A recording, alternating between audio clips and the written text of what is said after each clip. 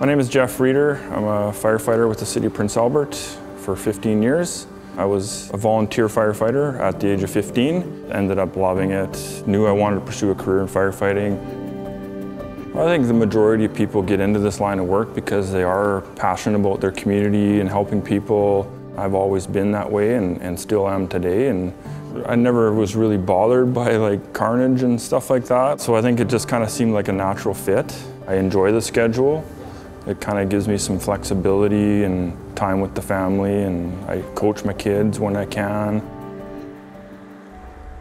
December 19th, 2006 was a turning point for me. My wife and I were on our way to Saskatoon uh, when she was pregnant with our first child.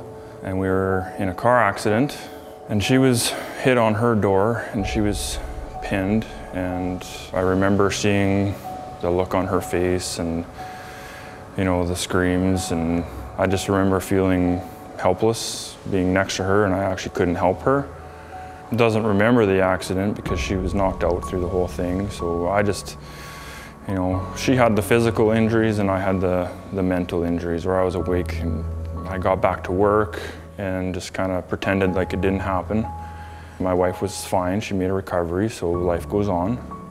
You know, I started going to calls and then having flashbacks. So, you know, each time I relived it, it just kind of got worse and then I couldn't get it out of my head. You know, I had anxiety 24-7, it never went away. I wasn't thinking clearly, my heart was racing all the time. At one point, I think 2010, I finally hit a wall and I couldn't function. I knew that I needed to do something for myself because I knew this wasn't normal. I had to, I had to get help, so I took a year and three months off. You know, at that time, not knowing what I'm supposed to do. There was no roadmap, oh, do this, do this, and you know, conventional treatments. After nine months, I was cut off. I, I was supposed to be healed at that point. And I was no further ahead. Couldn't control my anger. As a new father, I, I you know, I, I never knew having kids without PTSD, so I felt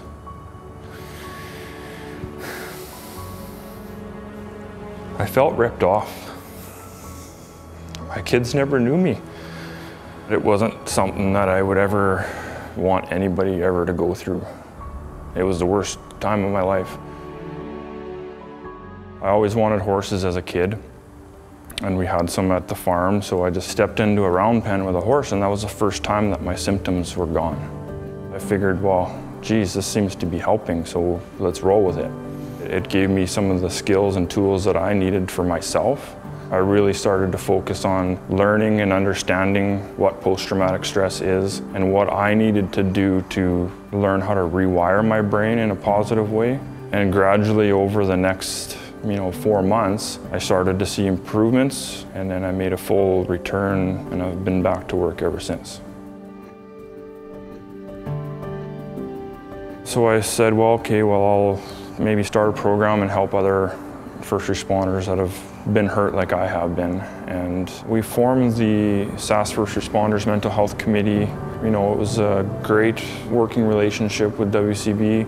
Clinicians have been added, some occupational awareness training for clinicians. So a lot of different tools that are available to the workplace or the worker or even family members. One of the big things that we're working on on the committee is anti-stigma messaging, making people aware that just because you've been diagnosed with post-traumatic stress, you're not, it's an injury just like a broken leg. It's not the end of the world. You're not broken forever. It requires some um, particular resources to get better, but know that post-traumatic stress is real, but so is recovery. There is hope out there.